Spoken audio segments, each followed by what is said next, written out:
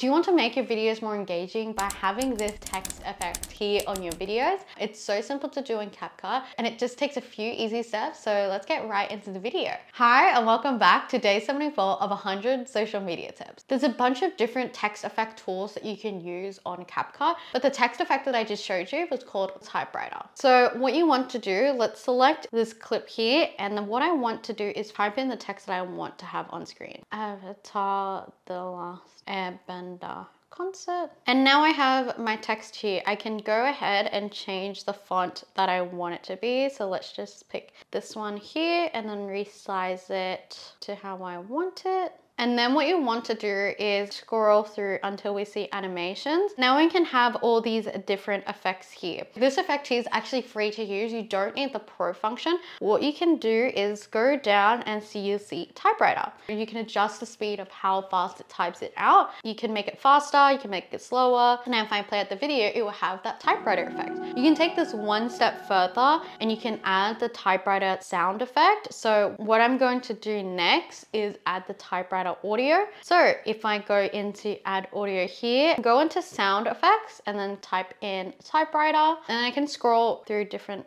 audios.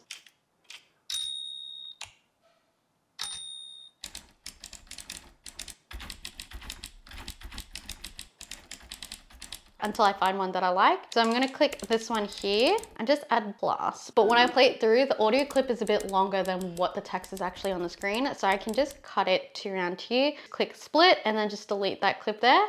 And that's it. Like always, keep creating, keep experimenting, and I'll catch you in the next video.